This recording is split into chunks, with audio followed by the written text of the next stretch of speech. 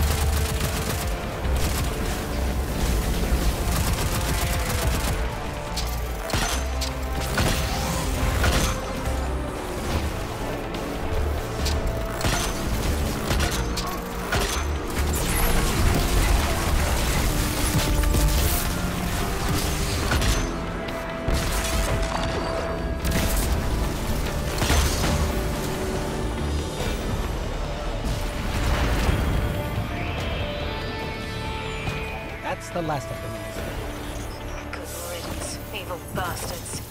Until next time.